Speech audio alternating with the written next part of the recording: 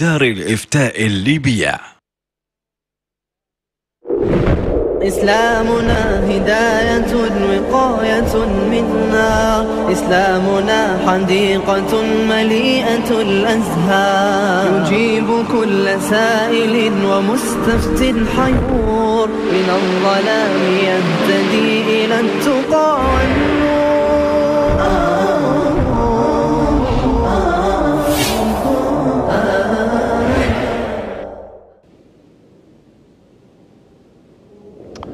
الحمد لله رب العالمين والصلاة والسلام على أشرف الأنبياء والمرسلين سيدنا محمد وعلى آله وصحبه ومن اهتدى بهديه واستنى بسنته إلى يوم الدين. أهلا بكم أيها الأفاضل في هذه الحلقة الجديدة من برنامجكم الإسلام والحياة. هذا البرنامج الذي نستقبل فيه استفساراتكم وأسئلتكم ليجيب عليها فضي... أصحاب الفضيلة العلماء. يسرنا أن يكون ضيفنا في هذه الحلقة صاحب الفضيلة الأستاذ الدكتور حمزة أبو فارس عضو مجلس البحوث والدراسات بدار الإفتاء الليبية وأستاذ الشريعة في الجامعات الليبية. ورحب بكم فضيلة الشيخ حمزة. أهلا وسهلا بكم. يا أهلا وسهلا. آه نذكر آه قبل ذلك آه قبل أن نبدأ في استقبال الأسئلة أيها الأفاضل آه سنكمل مع ضيفنا الفاضل فضيلة الشيخ الأستاذ حمزة أبو فارس. ما بدأناه طيلة الأسابيع الماضية في الحديث عن آه المدرسة الحنفية وعن أعلامها وعن مصادر التشريع آه لديها. وكنا قد آه وصلنا في الأسبوع الماضي إلى بعض المسائل التي للأحناف فيها رأي قد يخالف ما عليه بقية المدارس الفقهية. شيخنا ذكرنا في الأسبوع الماضي أو بدأتم حفظكم الله في الأسبوع الماضي في مسألة تزويج المرأة نفسها بدون ولي. نريد أن نكمل هذه المسألة قبل أن ننتقل بإذن الله تعالى إلى المسائل الأخرى التي للحنفية رحمهم الله رأي قد يخالف ما عليه بقية المدارس. إليكم شيخنا الفاضل. أعوذ بالله من الشيطان الرجيم. بسم الله الرحمن الرحيم. الحمد لله رب العالمين.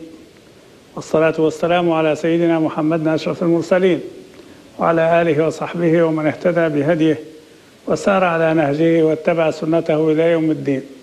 لا حول ولا قوة إلا بالله العلي العظيم. أيها السادة والسيدات السلام عليكم ورحمة الله وبركاته. وعليكم السلام. تحدثنا في الحلقة الماضية عن مسألة عن مسألة انفرد بها الأحناف.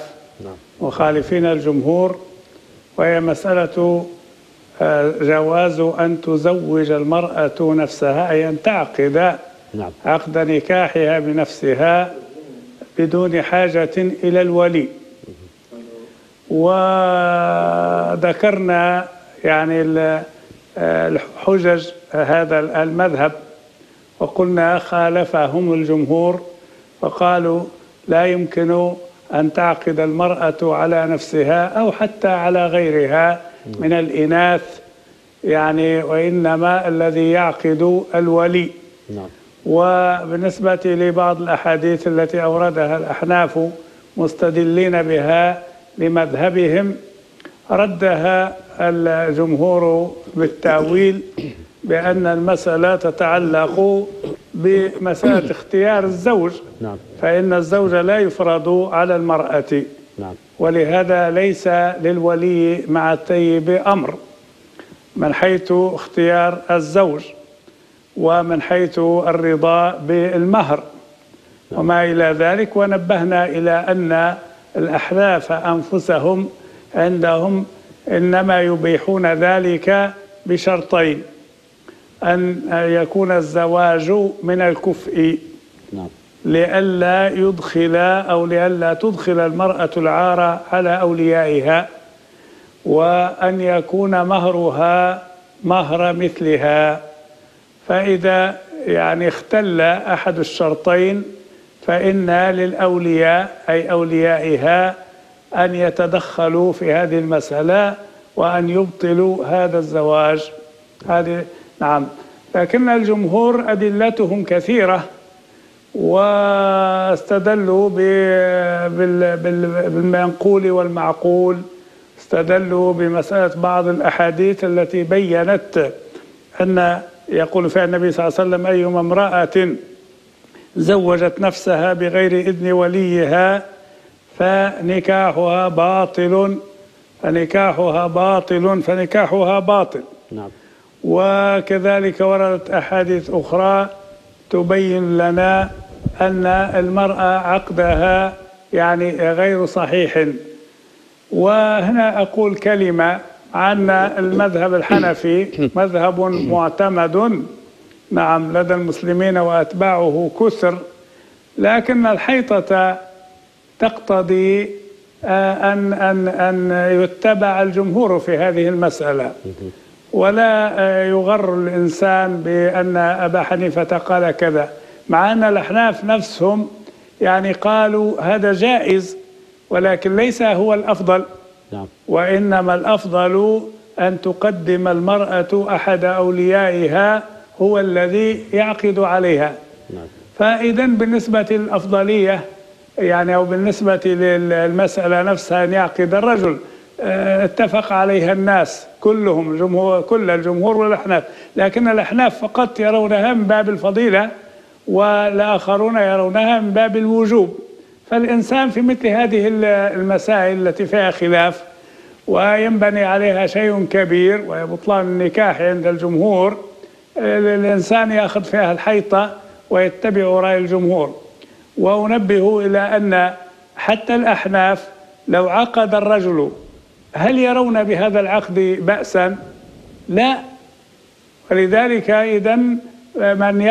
عندما يعقد الرجل على امرأة أي وليها هو الذي يعقد يكون العقد صحيحا على رأي جميع الناس نعم فيلزمنا يعني لابد أن نعرف هذه المسألة وما شابهها من المسائل الخلافية التي يقول أحد العلماء حتى المعتبرين يقول فيها بقول ويقول الجمهور بقول من استطاع أن يطبق أو أن يجمع بين كلام الجميع فليفعل فذلك أحسن له وأرفق.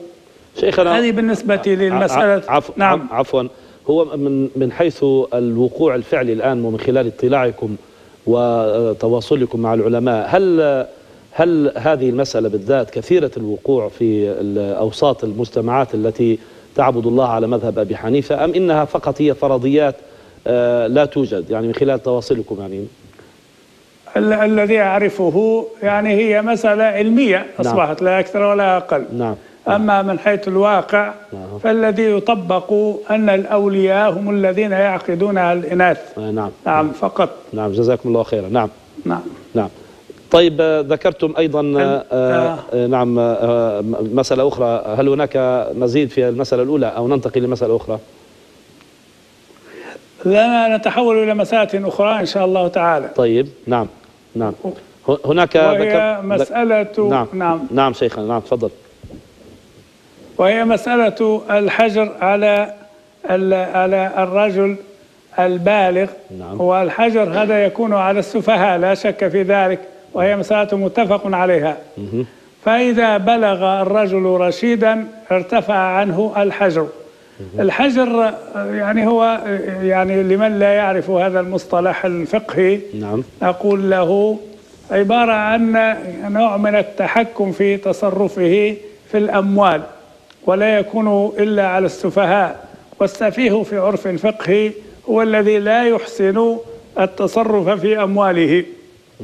وليس كما يجري به العرف الآن في المجتمع.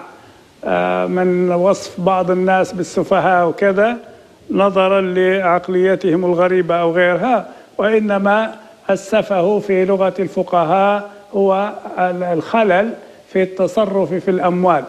فهذا يحجر عليه السفيه. نعم. إنما تحت البلوغ آه، محجور. نعم. لا لا بد أن إما لولي أمره مباشرة يعني الأب أو أن القاضي إذا مات الأب يعين له وصيا فهو الذي يتصرف في ماله وعندما يرشد يحاسبه القاضي. على ماذا صرف؟ ماذا أنفق؟ ماذا دخل عليه؟ وماذا خرج منه؟ إلى آخره. المهم أنه إذا بلغ رشيدا آه، تسلم إليه أمواله. وهذا بنص القرآن. فإن آنستم منهم رشدا فادفعوا إليهم أموالهم. ولا تأكلوها إسرافا وبدارا أن يكبروا. فهذه المسألة إذا لما يبلغ رشيدا تسلم إليه أمواله ولا يضرب حجر عليه. لكن أحيانا يعني عند بلوغه لا يبلغ رشيدا وإنما يبلغ سفيها. فهذا ما العمل فيه؟ هذا يحجر عليه. عند جميع الفقهاء لا يسلم إليه ماله. ما لو أين الخلاف بين أبي حنيفة وغيره من الفقهاء؟ الخلاف أن الفقهاء يرون الحجر عليه هذا السفيه آه، حتى إذا استمر استمر سفهه حتى الوفاة أحيانا. ما لم يرشد آه، يبقى سفيها لا يتصرف في أمواله. عند أبي حنيفة لذلك حد محدود وهو آه، خمسة وعشرون عاما. إذا بلغ إذا بلغ المسلم خمسة وعشرين عاما ذكرا كان أو أنثى فإنه لا يمكن أن يحجر عليه لأن خلاص السفة انتهى ولو كان لا يحسن التصرف لابد أن تدفع عليه أمواله عند أبي حنيفة. إذا الفرق بين الجمهور وأبي حنيفة أن الجمهور ما دام استمر على سفهه يستمر التحجير عليه. وعند أبي حنيفة إذا بلغ آه، خمسا وعشرين سنة فإن الحجر عليه ينتهي وتسلم إليه أمواله ولا يهمنا في تصرفاته. وقال آه، أبو حنيفة إنه يستحيي أن يحجر على شخص صار جدا. يعني لما يوصل 25 سنة يصبح كبير السن وربما ابنه قد تزوج وأنجب أو بنته تزوجت وأنجبت فأصبحت جدا وذو شيبة أو ذا شيبة فكيف يصح التحجير عليه؟ فهذا الرأي انفرد به آه الإمام أبو حنيفة رحمه الله. نعم. مسألة الأخرى القريبة من هذا وهي مسألة آه المدين آه هل يحجر عليه؟ المدين هو المقترض. اللي يلحقوه ناس فلوس يعني. نعم. يعني إذا إذا لم يدفع لم يستطيع الدفع أو لم يدفع هل يحجر عليه؟ وبالتالي آه، تتبع مسألة أخرى. هل يحبس نظير عدم دفعه أو لا؟ يترك هكذا فإن دفع فبها وإن لم يدفع فبها كذلك.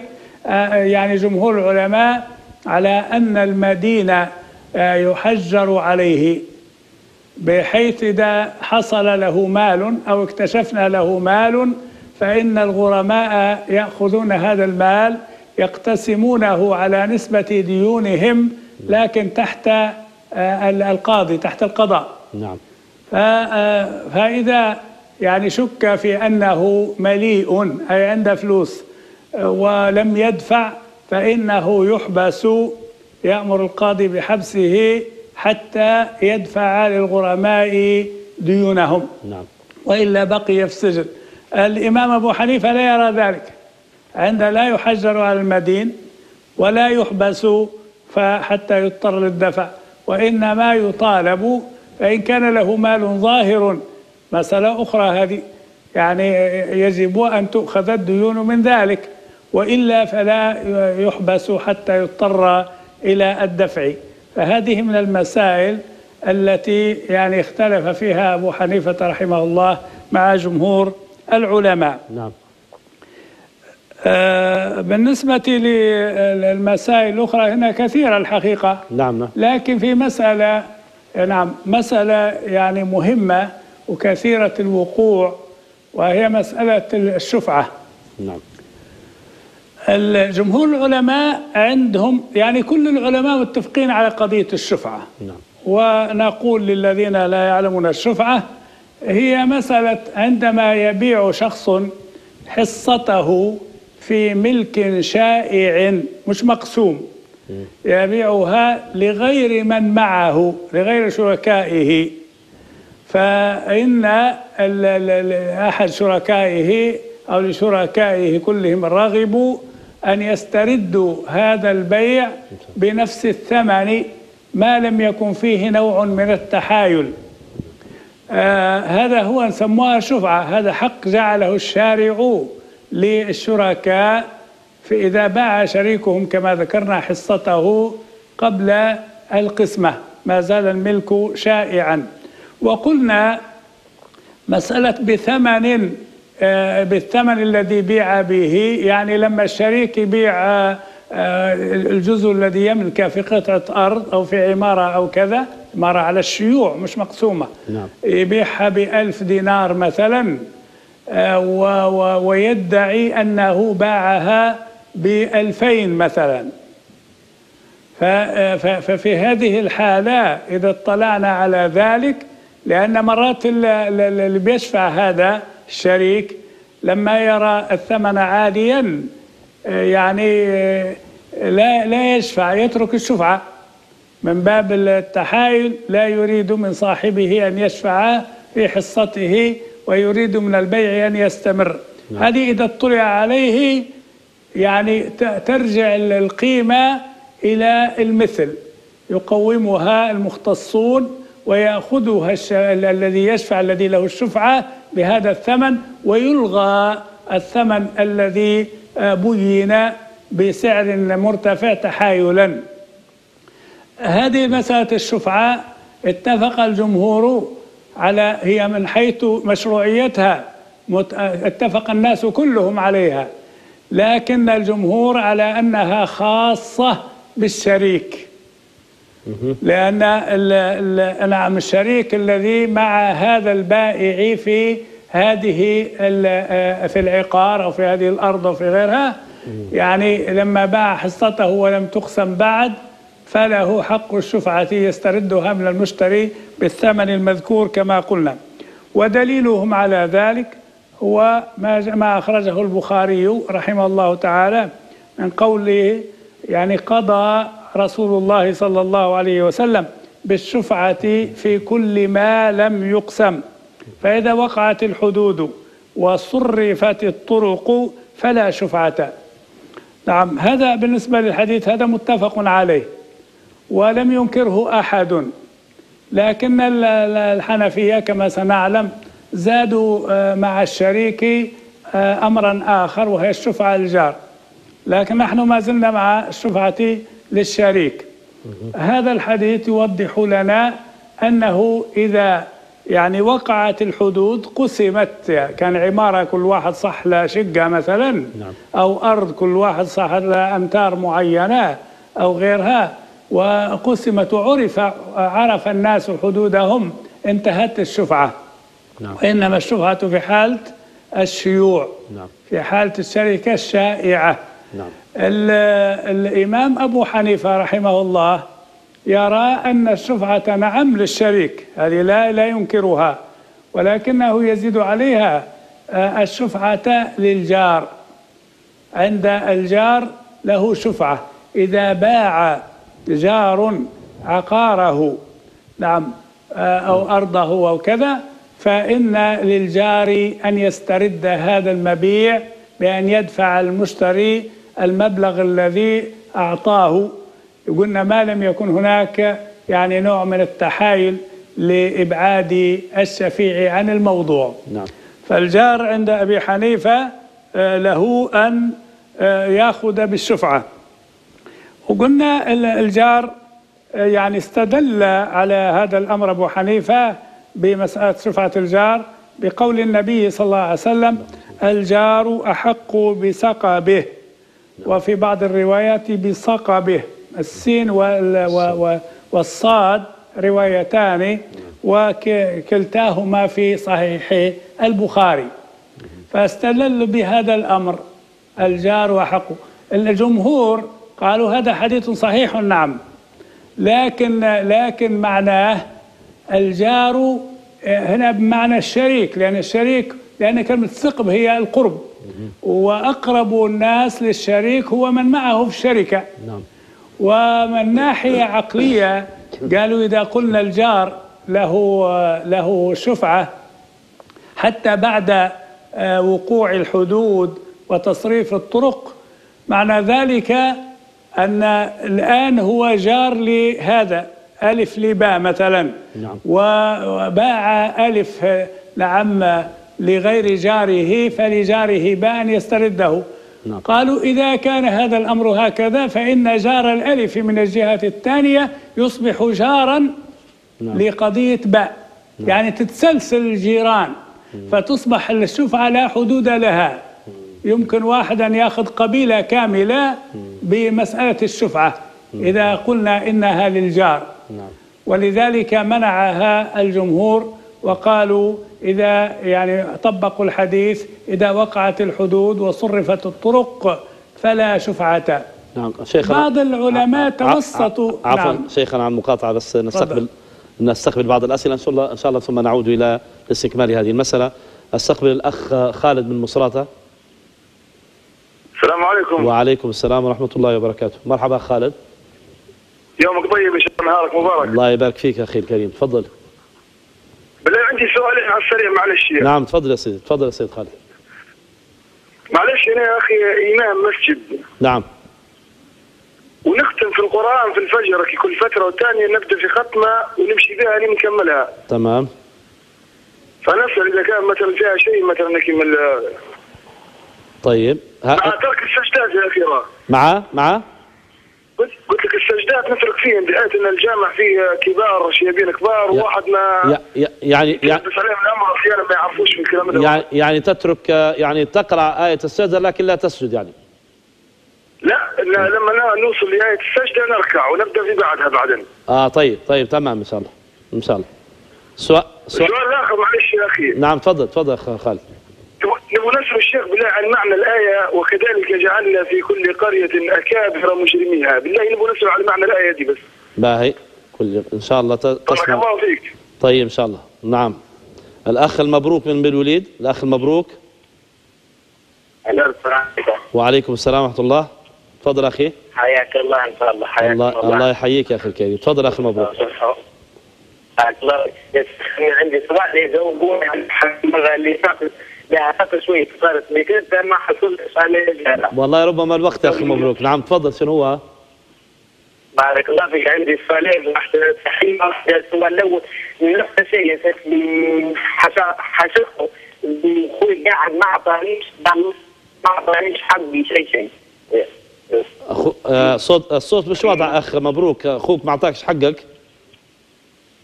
اسمعوا فيي هو تعال في مكان في تغطيه لو سمحت يا أخ مبروك.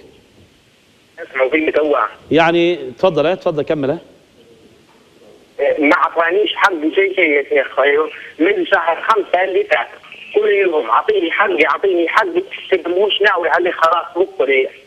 حقك في شنو؟ معلش يا أخ مبروك حتى نفهم.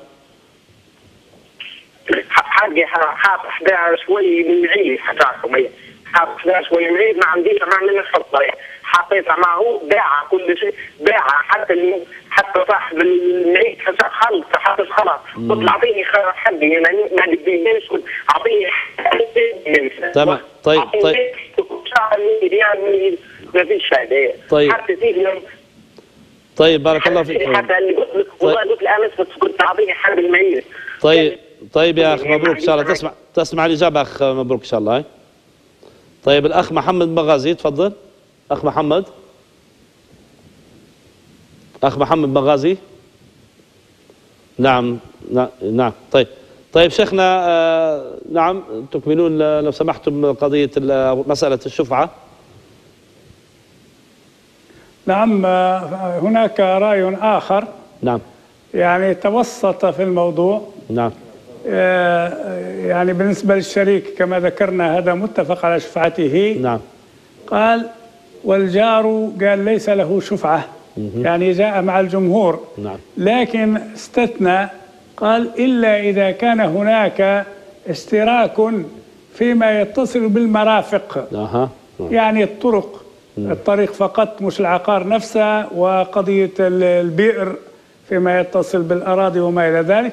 قال إذا كان يوجد بعض المرافق مشتركة فهذا يدخل كذلك في قضية الشفعة. طيب. عن الجمهور الذين يقولون للشريك فقط الشفعة عندهم هذه الأمور التي ذكرها لا تؤهل الشخص لأن يشفع.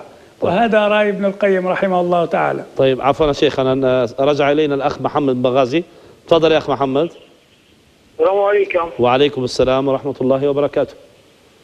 نرحب بالشيخ حمزة ومهارس الله يحييك يا أخي الكريم تفضل. بارك الله فيك الله يكثر من امثالك آمين يا رب العالمين. تفضل أخ محمد كان عندك سؤال؟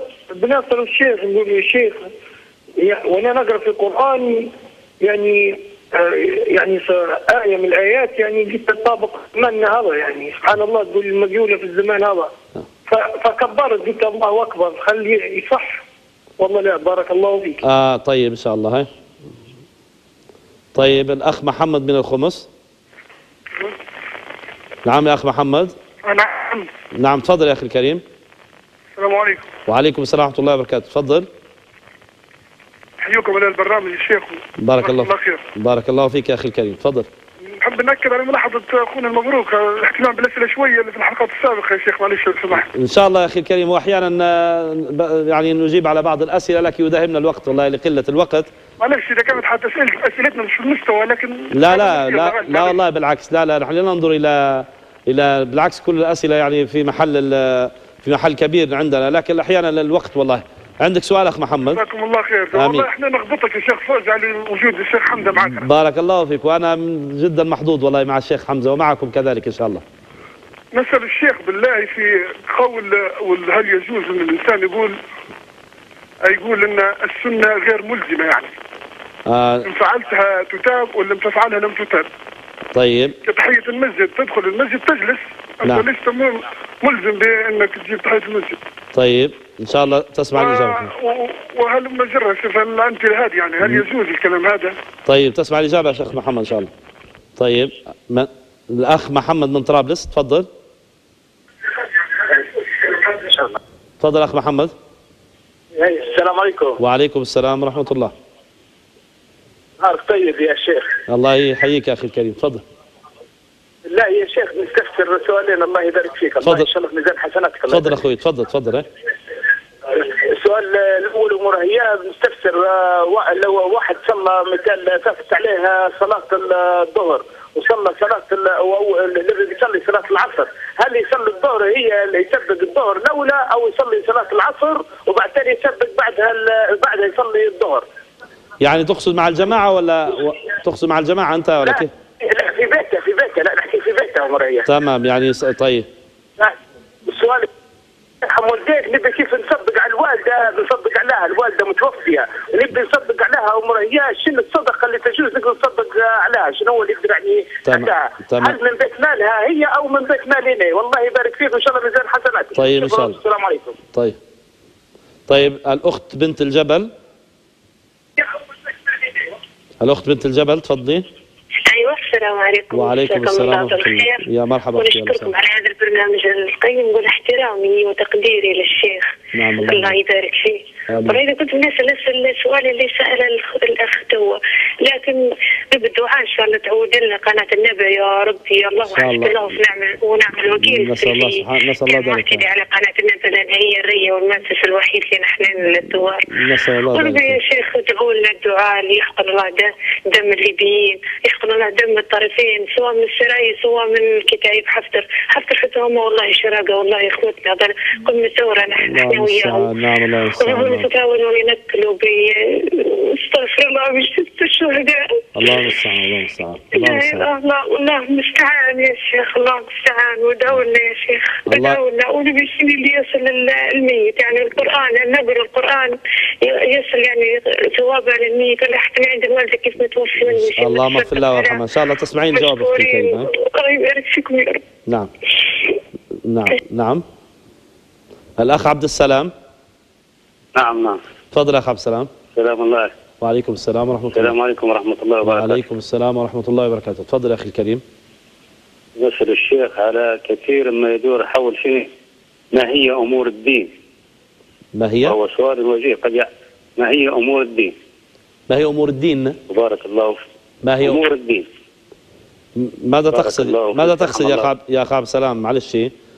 ماذا تقصد؟ نعم. ما هي أمور الدين؟ يعني ما ما, ما سؤال- الدين. سؤال غير مفهوم الحقيقة. ماذا تقصد؟ ما هي أمور الدين يعني؟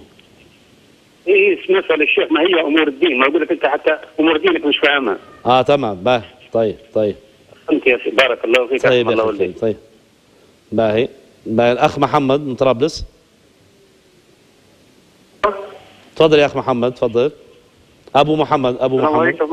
وعليكم السلام ورحمة الله. أبو محمد تفضل يا أخي الكريم. مرحبا الشيخ كيف حالك شيخ؟ بارك الله فيك. الله يبارك فيك أخي يحفظ الشيخ حمزة وجميع العلماء. ان شاء الله آمين آمين جزاك الله عندي سؤال يا شيخ على معاملة اللي فيها مصرف آه، التجاره والتنميه آه، اللي هي الشخص يمشي للسوق في سوق معين يتعامل معاه آه، ويعطيه طبعا عملية يتعامل مع المصرف يعطيه كود كود يمشي به للتاجر فهمت الله اللي هو المصرف. طبعا يزيد ال- السوق هذا أو المحل يزيد في 1% ال- واحد على 100 كل ما تأخذ منه بضاعه ب 100 يزيد واحد. المصرف ما يأخذ شيء يا شيخ. فنبغى حكم المعاملة هذه يا شيخ. ع- ع- معلش عفوا حتى أفهم آه، المع... يعني هناك بعض المحلات أو الأسواق تتعامل مع مصرف التجارة والتنمية. لما تمشي لمصرف التجارة والتنمية يعطيك كود معين أو يتصوا أو يبع... يرسلون يعني تقصد أنت المصرف اثناء أثناء ال- البيع والشراء يرسلون لك كود على الهاتف صح؟ أي يتعامل عن طريق الهاتف. هو نعم. المصرف من السوق يا شيخ. تمام. لكن و- ياخذ المصرف ما ياخذ شيء على حسب ما يقول. لكن ال- ال- السوق أو المحل هو اللي ياخذ 1% طيب طيب. تسمع الإجابة بإذن الله اخ أبو محمد. شكرا جزيلا. بارك شكرا. الله فيك. شكرا شكرا. شكرا. تقريبا نعم نعم. طيب آه، أستاذنا آه، شيخنا الفاضل. نريد ال- الإجابة على الأسئلة. يقول آه، الأخ خالد بن مصراتة يقول بأنه إمام مسجد وهو جرت عادته أنه يختم القرآن في الفجر يعني في الفجر بالذات آه، كل مرة يختم القرآن بين الفينة والأخرى. ويقول هل في سؤاله هل يقول هل في ذلك شيء؟ هذا من ناحية. ومن ناحية يقول بأنه حتى لا يلتبس الأمر على المأمومين وبعضهم لا يفقه أمر السجود سجود التلاوة. هو يترك آيات السجود لا يسجد لها. هكذا فهمت. هي ال- المسألة يعني قراءة القرآن كاملا في الفجر. نعم. آه، مسألة جيدة بالنسبة لي هو. نعم. ولمن خلفه من الحفظة حتى يراجعوا مثلا. نعم. لكن بالنسبة لل- للمأمومين يعني هل هم يحتملون ذلك؟ هذه تعتمد على قضية كم يقرأ هو في ال في ال في صلاة الصبح. نعم. نعم. هل يقرأ مثلا نصف ثمن أو كذا آه، يعني المسألة لا بأس بها من الناحية هذه. لكن لكن كثير من المذاهب عندهم يستحب ختم سورة آه، من القرآن في الصلاة. ولا يجتزأ ببعضها. لكن أقصى درجاتها يعني الكراهة معناها الأفضل أن يختم السورة. نعم. فهذه المسألة تتصل بحاجتين. إذا كانوا يرى أن هذه في صالحهم وفي حالة انسجام آه، المأمومين وما يترش عليهم هذا التطويل لا بأس بذلك إلا أنه خالف الأفضل في مسألة ختم السورة نعم. في آه، الصلاة نعم. لأنه هذا المستحب نعم طيب. لكن في كل حالات الصلاة صحيحة الم- المسألة الأخرى تتصل بسؤاله نعم مسألة أن يصل إلى آه، آية السجدة ولا يسجد حتى لا تختلط عليهم ال- الأمور. نعم. الحقيقة هذه أيضا كراهة أخرى. يعني يمر بالسجدة ولا يسجد.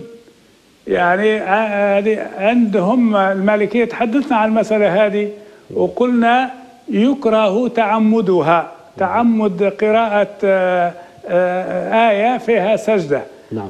إذا كان وأما إذا وأما إذا كان غافلا ووجد نفسه أمامها فلا كراهة. ولا شك أن الذي يختم القرآن سيجد نفسه قطعا وعمدا يعني أمام سجدات كثيرة. فأنا أرى المخرج من هذه المسألة إذا كان أراد أن يستمر في في طريقته هذه أن ينبه المأمومين عندما ستمر به السجدة في الصلاة.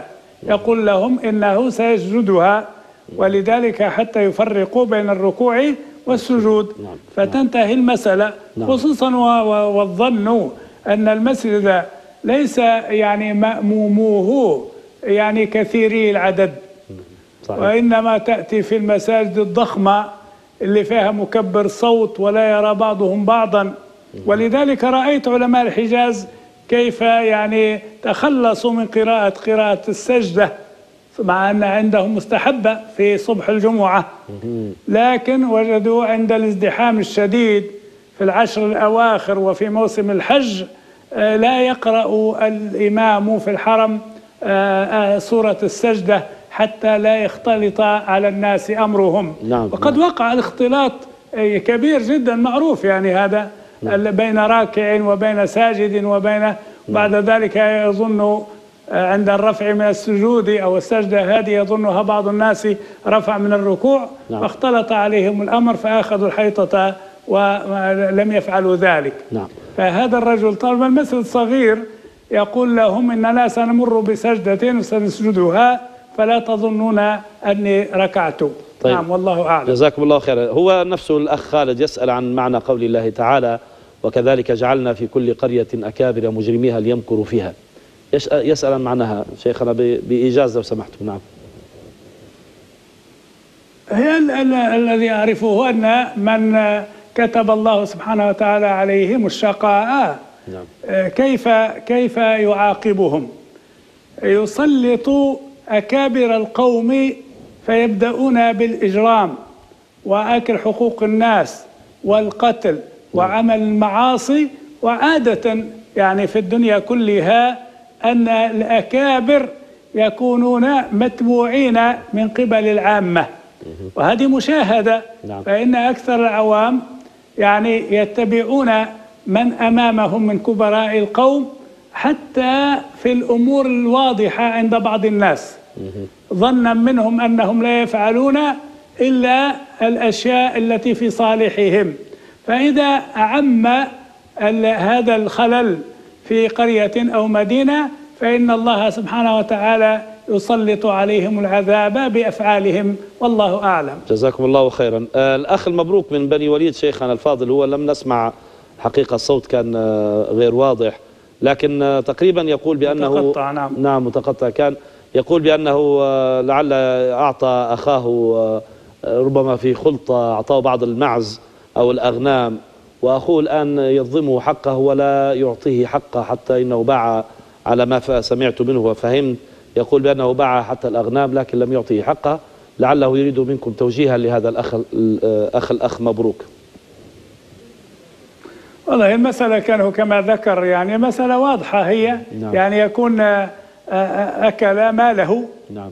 أخوه أكل ماله بغير حق. نعم. إذا كان هذا السؤال هكذا صحيح يعني فقد ارتكب إثما كبيرا آه، يجب عليه وجوبا شرعيا أن يدفع إليه أمواله. نعم. يعني بكم باع تلك الأغنام والأشياء وكم حصة أخيه منها؟ هل هو شريك بالنصف أو بجزء آخر؟ لابد أن يدفع ذلك. وما من يدري لعل الإنسان يموت؟ فلا ياخذ فلا يعطي للناس حقوقهم فيكون هو المسؤول يوم القيامة. وهناك لا دينار ولا درهم وإنما تؤخذ الحسنات والسيئات. فنحن نعظه لا أكثر ولا أقل وننبهه على أن يجب أن يخلص نفسه في هذه الدنيا الفانية خير من أن يكون الخلاص يوم القيامة. جزاكم الله, والله خيرا أعلم. وأحسن إليكم. شيخنا الأخ محمد من بنغازي يقول بأنه أحيانا يقرأ القرآن يمر بآية آه، معناها ينطبق على بعض ما نمر به الآن في وقتنا الحالي. يقول فهو يكبر لما يقرأ هذه الآية يقول ما حكم هذا التكبير؟ يفضل أن يقرأها ولا يفضل الا يقرأها؟ لا هو عندما يقرأ هذه الآية يجد أن معنى إيه. هذه. الآية ينطبق على بعض الواقع الآن فلما يقرأ هذه الآية ويجدها منطبقة يكبر يقول الله أكبر يعني يسأل عن عن حكم هذا التكبير. التكبير إذا كان صدر منه تلقائيا يعني بدون تحكم. نعم. هذا لا شيء فيه. نعم. لكن من المستحسن إذا كان هو يتحكم في في نفسه ألا يفعل ذلك لأن التكبير في الصلاة عند مواضع معينة. لا يبدو أنه لع- يصبح زيادة. إذا إذا أنا فهمت منه نعم. هو في خارج الصلاة يعني هو يقرأ القرآن لعله إذا كان في نعم هو أحسنتم. لعل نبهتم إذا كان داخل الصلاة له حكم وإذا خارج الصلاة له حكم. نعم سيدي تفضل. نعم. بال- بالضبط نعم. إذا كان خارج الصلاة لا بأس بذلك. ما فيش مشكل. لكن إذا كان داخل الصلاة المفروض لا يفعل ذلك. آه، لكن لو كانت خرجت منه بدون إرادة لا بأس بذلك. إيه نعم. لا شيء عليه صلاته صحيحة. نعم جزاكم الله خيرا. طيب الأخ محمد من الخمس كذلك هو عاتبنا قال بأنكم أحيانا تهملون بعض الأسئلة. حقيقة لا نهمل الأسئلة لنوعية الأسئلة كما ظن الأخ سامحه الله. لكن الحقيقة أحيانا يداهمنا الوقت. آه، فلا نجد بد من أن يعني آه، نترك بعض الأسئلة. وعلى كل حال هو يقول بأن البعض يقول لك بأن آه، هذا من السنة وهي غير ملزمة. مثلا ضرب لذلك مثالا بتحية المسجد. يقول لك آه، يعني ربما يدخل الإنسان إلى مسجد ويجلس ولا يصلي هذه المسجد ويقول هذه من السنن والسنة غير ملزمة لي. يسأل عن عن ذلك. أنا لم أفهم السؤال جيدا. هو يقول شيخنا بأنه أحيانا بعض السنن آه، يعني لا تفعل لأنها سنة وبالتالي هي ليست ملزمة وليست من باب الوجوب. ضرب لذلك مثالا بتحية المسجد. أحيانا يدخل أحدهم إلى المسجد ثم لا يصلي فإذا قيل له لماذا لم تصلي تحية المسجد؟ يقول هذه سنة وليست ملزمة ليست بواجب علي أن أصلي. هذه تكلم عنها العلماء وقالوا من ترك سنة نعم. لكن لا استهانة بها لأن الاستهانة بالسنة كفر. لا. شك في ذلك.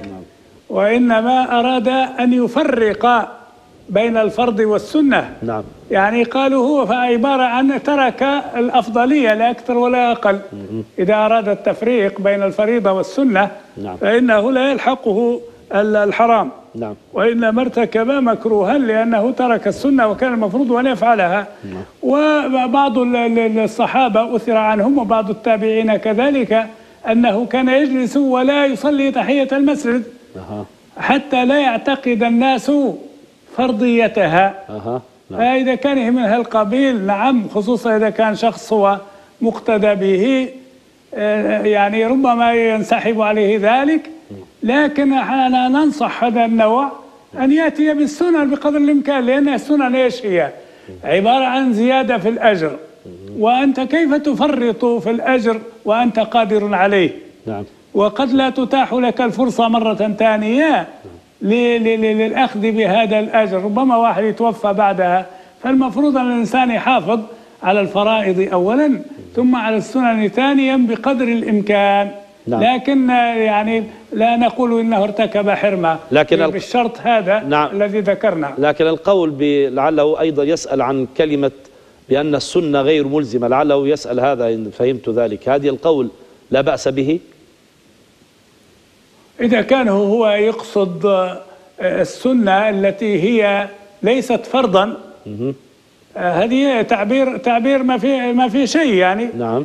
لكن إذا كان يقصد لا نتبع السنة هذه مصيبة. الله فالقضية تعتمد على أيوة تعتمد على الموقف وعلى ال- ال- السياق الذي قيلت فيه هذه الكلمة. جزاكم الله خيرا وأحسن إليكم. الأخ محمد من طرابلس يسأل يقول بأن إنسان فاتته صلاة الظهر وثم دخل وقت العصر وأذن لصلاة العصر فهل آه، هو هو في بيته يعني لا يصلي في المسجد يعني ليس الأمر أنه دخل المسجد فوجدهم صلوا العصر يصلون العصر وهو لم يصلي الظهر. لا وإنما في بيته هو لم يصلي الظهر ثم أذن العصر فيقول هل يصلي العصر أولا ثم يصلي الظهر أم يصلي الظهر أولا ثم يلحقها بالعصر؟ وبالنسبة لي بالنسبة للمسألة واضحة هذه. هو خصوصا أنت سألته يعني على قضية هل هو في جماعة نعم.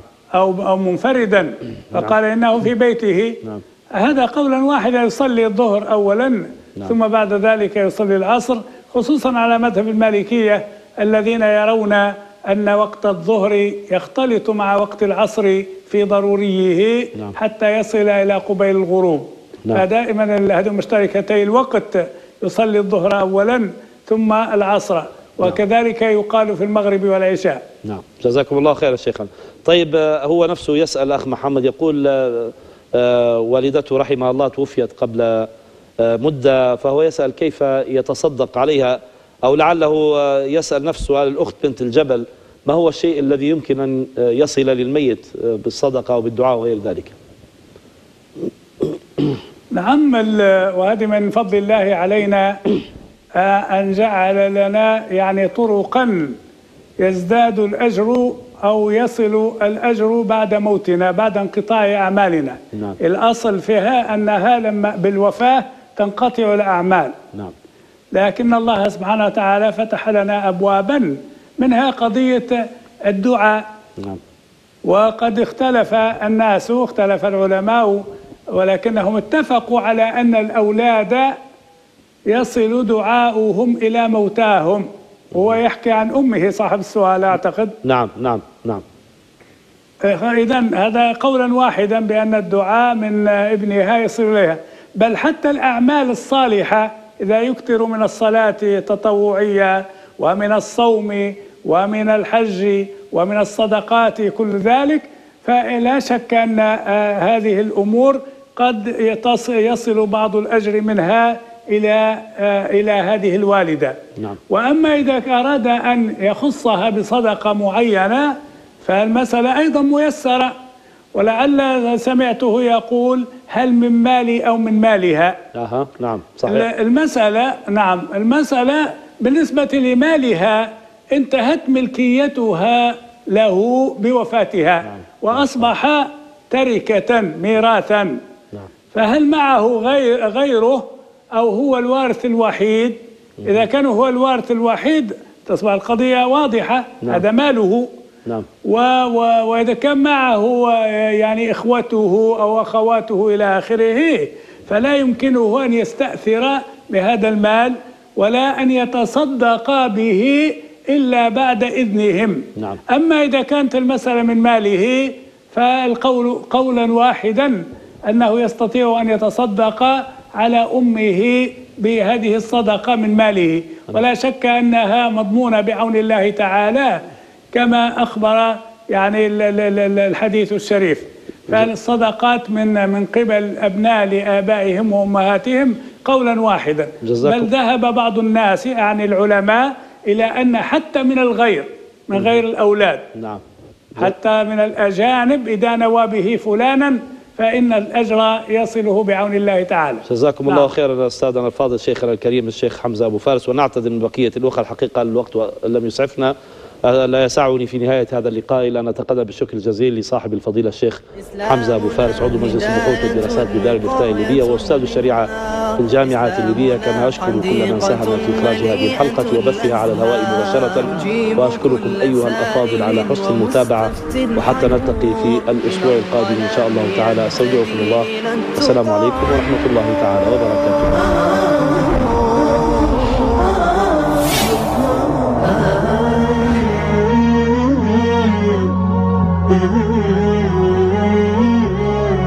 تشاهدون إعادة هذه الحلقة. يوم غد في تمام الساعة الخامسة وخمس دقائق فجرا ويعاد عند الثانية عشر وخمس دقائق ظهرا.